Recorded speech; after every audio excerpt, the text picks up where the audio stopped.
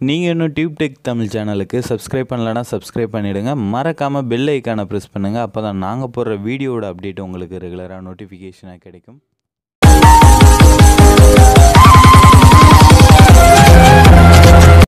தமிழால் இணைந்த அனைத்து நல் உள்ளங்களுக்கும் அன்பான வணக்கம். இன்றைக்கான வீடியோவில் இப்போது நீங்கள் ஸ்க்ரீனில் பார்க்குற மாதிரியான மல்டிபிள் ஃபோட்டோஸ் வச்சு எப்படி வாட்ஸ்அப் ஸ்டேட்டஸாக வந்து மேக் பண்ணுறது அப்படின்னு சொல்லி தான் டீட்டெயிலாக பார்க்க போகிறோம் ஸோ இந்த வீடியோவை அப் டு எண்டு வரையும் ஸ்கிப் பண்ணாமல் பாருங்கள் அது மட்டும் இல்லாமல் இந்த வீடியோ பார்த்திங்க அப்படின்னா நம்ம சேனலில் ஆல்ரெடி ஒரு சிக்ஸ் மந்த்துக்கு முன்னாடி அப்லோட் பண்ண ஒரு டுட்டோரியல் கான்செப்ட் தான்.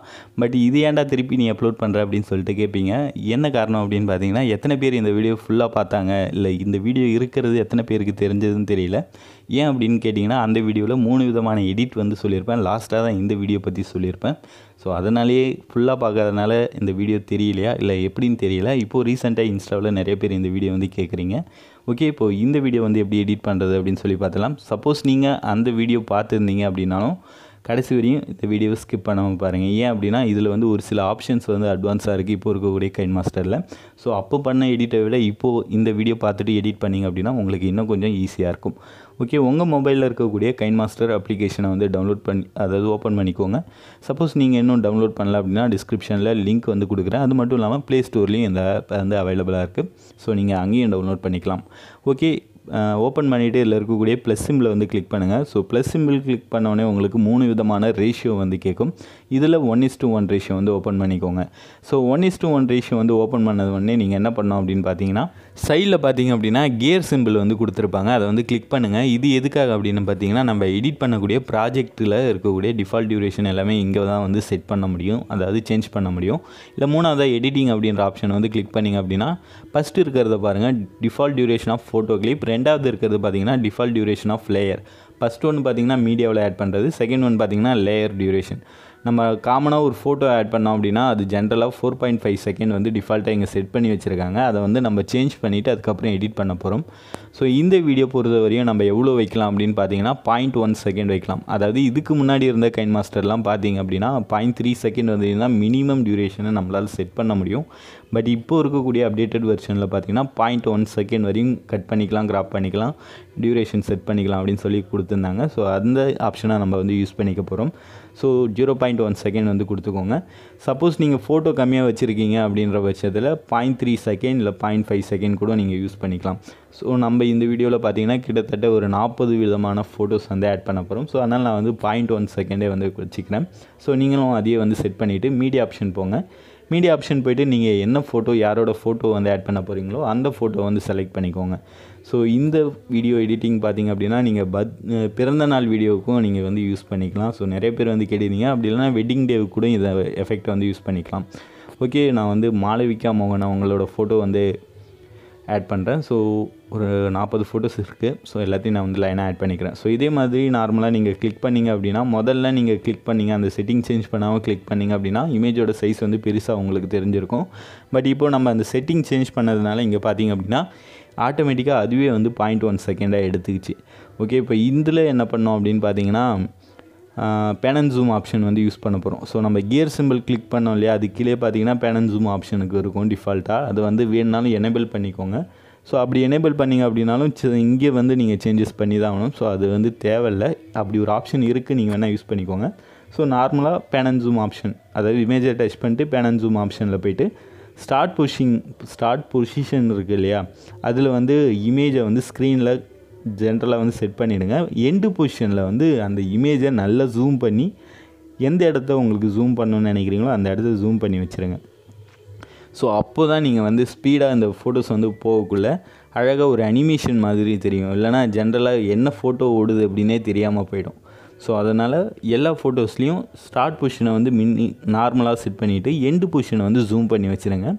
ஸோ இது மாதிரி நீங்கள் எத்தனை ஃபோட்டோஸ் வந்து ஆட் பண்ணுறீங்களோ அத்தனை ஃபோட்டோஸ்லேயும் இதை வந்து செட் பண்ணிவிடுங்க ஸோ நான் ஓகே நீங்கள் இந்த எல்லா ஃபோட்டோஸும் வந்து செட் பண்ணிவிடுங்க நான் செட் பண்ணிட்டேன். ஸோ இப்போ நான் ப்ளே பண்ணுறேன் பாருங்கள் டக்கு டக்கு டக்கு டக்குன்னு எல்லா ஃபோட்டோஸும் வந்து ப்ளே ஆகிட்டுருக்கு பட் இதில் நீங்கள் வந்து எப்படி பண்ணோம் அதாவது நீங்கள் ஆட் பண்ணியிருக்கக்கூடிய சாங் பொறுத்து இந்த ஸ்பீடு வந்து நீங்கள் செட் பண்ணோம் இப்போது நான் ஆட் பண்ணியிருக்கிறது பார்த்தீங்கன்னா த்ரீ மூவியில் இருக்கக்கூடிய ரீமிக்ஸ் பிஜிஎம் தான் நான் வந்து யூஸ் பண்ணியிருக்கேன். ஸோ அதனால் ஸ்டார்டிங்கில் பார்த்தீங்கன்னா ஸ்லோவாக தான் அந்த பிஜிஎம் வந்து போகும். கொஞ்சம் ஒரு ரெண்டு செகண்ட் மூணு செகண்டுக்கு அப்புறம் தான் ஸ்பீடாக போகும்.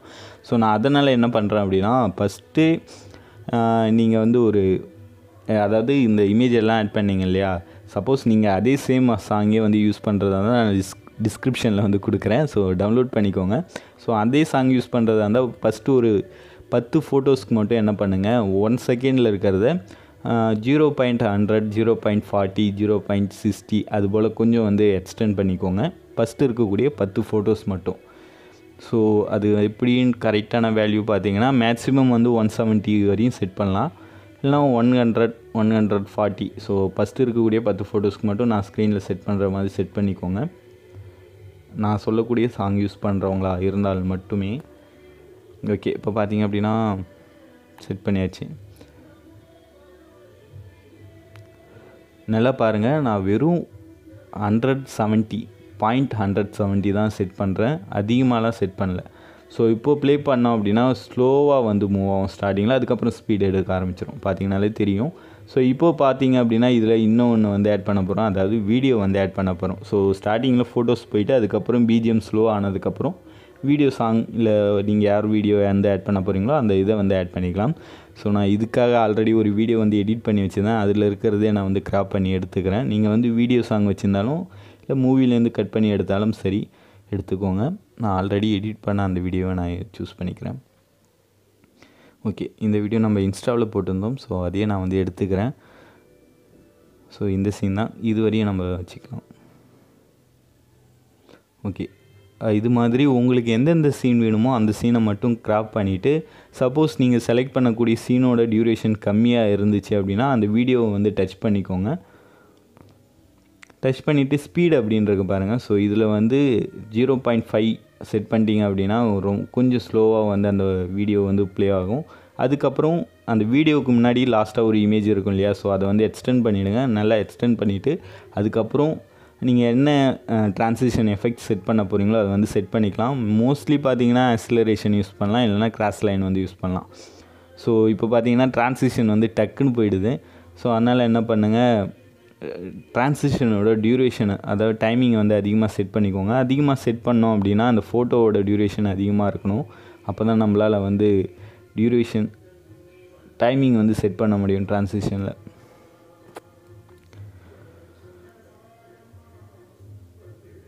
ஸோ இதில் நிறைய ட்ரான்சிஷன் எஃபெக்ட் இருக்குது எல்லாமே நீங்கள் வந்து யூஸ் பண்ணலாம். உங்களுக்கு எந்த ட்ரான்சிஷன் எஃபெக்ட் வந்து பிடிச்சிருக்கோ அதை வந்து யூஸ் பண்ணிக்கோங்க. நான் இந்த வீடியோ அதாவது நான் இன்ஸ்டாவில் போஸ்ட் பண்ண வீடியோவில் பார்த்தீங்க அப்படின்னா இந்த லைன் வைப் அப்படின்ற ட்ரான்சிஷன் தான் யூஸ் பண்ணியிருப்பேன் ஸோ ஓகே இப்போ பார்த்தீங்கன்னா இந்த வீடியோ வந்து முடிஞ்சிருச்சு. ரொம்பவே சிம்பிளான ஒரு எடிட் தான்.